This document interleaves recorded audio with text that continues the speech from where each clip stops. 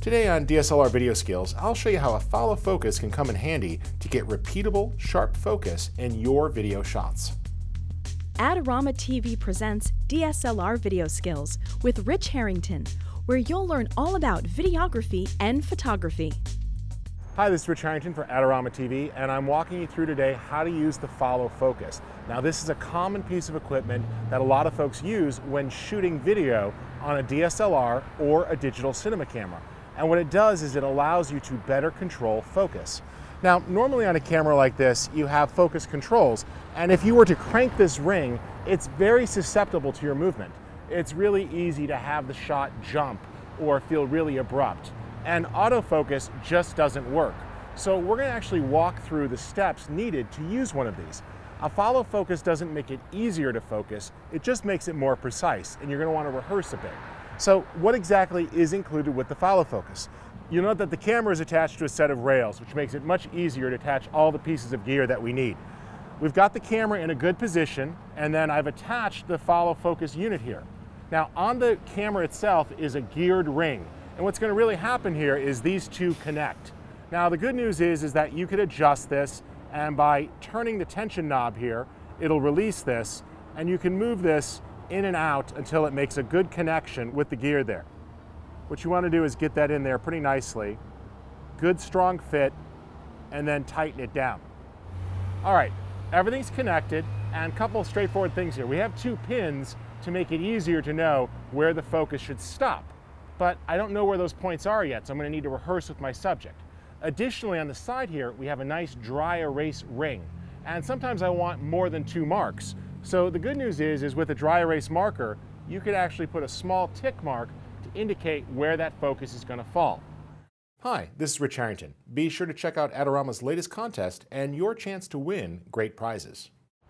Okay, I framed the initial shot and what I'm gonna do now is go find some places to set marks. We're gonna have our subject walking through the scene. And as you shoot with a shallow depth of field, it's quite possible they're gonna fall out of focus. Unless, of course, you actually adjust the focus. And that's the whole purpose here. You'll also note I'm using a larger monitor to make it easier to see. We'll talk about monitors more on a future episode. Let's put some marks in place. To do this, I've got some cones, which is fine. You could use chalk or you can use available things that are in your scene. The key obviously is to make sure that what you mark out doesn't show up in the shot. I'm gonna walk through the scene now and figure out where I want our shopper to walk through and do our window shopping, and then we'll rehearse. All right, my cones are not in my shot, which is great. Now that I've placed them relatively equidistant, it's not important that you're critical, you just need something that you could see.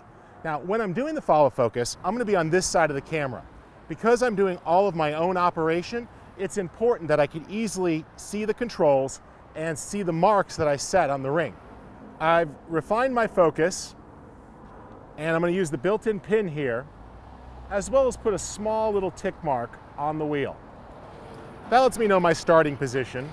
Can you go ahead and move to the second position by the dresses? There we go, I got it. Not much movement.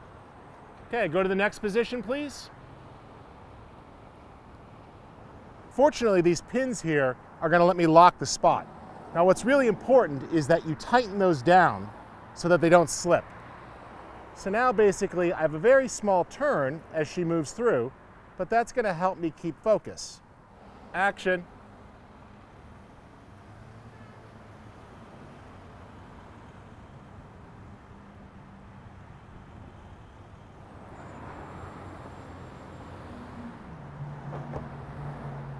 Good. That take went okay. It's always a good idea to do a few tries. Whenever you're doing something like follow focus, it is a bit tricky, so make sure you get a couple of extra takes in the can. I'm also using the focus in red feature on the monitor to help me see the edges, and that's gonna make it a bit easier as I practice. Let's try that a couple times more.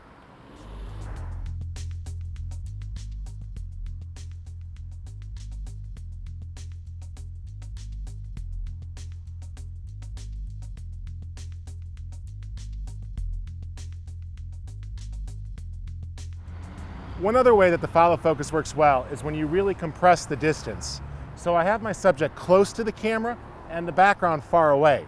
So now I could pull focus as I pan into her.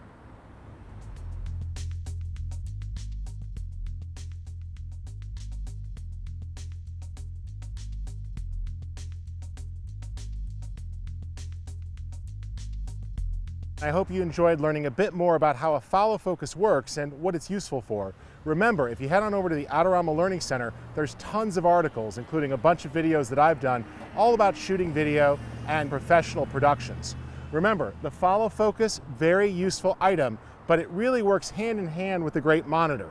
Out here in this bright light, if I didn't have this monitor to see what I was doing, it'd be very difficult. So coming up in the future weeks, I'm going to walk you through all the benefits of using a monitor like this, and you'll see how they come together. All right, you don't want to miss any episodes of Adorama TV, so be sure to subscribe. It's absolutely free, whether you click inside of YouTube or you click the podcast. My name's Rich Harrington. Thanks for joining me.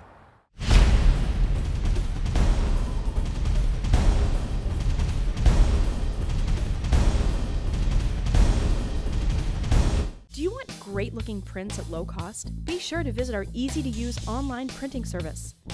Adorama Pix has professionals who treat your images with the utmost care that you can count on. For a quick turnaround on photos, cards, or albums, use AdoramaPix.com.